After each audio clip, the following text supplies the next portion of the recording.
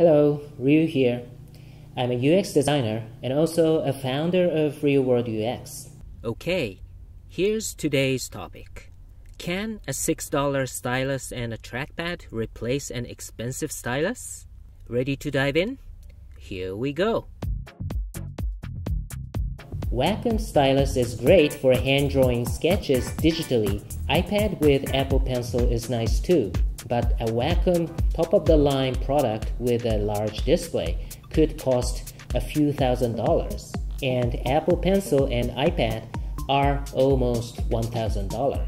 If you already have MacBook Pro, it has a fairly large trackpad, and surprisingly, an affordable capacitive stylus actually works on a trackpad.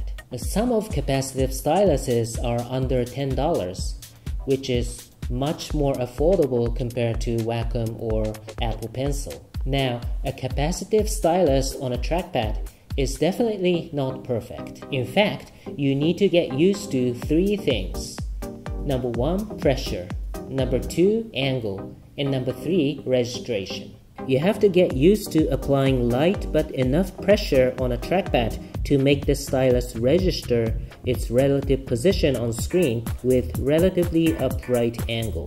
With your own finger, you hardly apply any pressure to the trackpad. It just works without you noticing it, but with a capacitive stylus, you need to consistently apply a light pressure to move around the cursor on screen. Then, once you want to draw a line, you apply more pressure to make the trackpad click. For example, when you draw a circle with a stylus, as long as you are drawing a continuous line, everything is fine. Once you finish a stroke and want to draw the second stroke, that's when you need to register your stylus's starting position.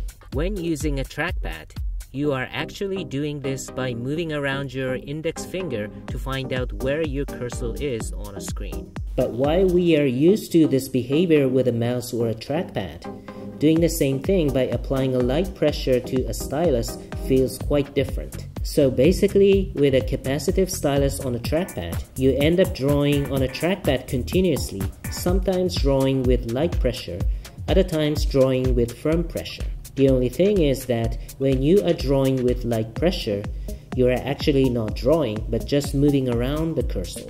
This is where more expensive solutions like Wacom and Apple Pencil on iPad provide better experience so that you don't need to worry about registering a new position of a stylus on a screen. So, if a precise control is super important for you and you can afford it, it's definitely better to get Wacom or Apple Pencil. But for more casual users, a capacitive stylus on a laptop PC trackpad is a good affordable solution once you get used to it. Okay, that's it for today. Thank you very much for watching. Feel free to leave any comments, suggestions, and requests. If you like it, please click like and subscribe. See you in the next video.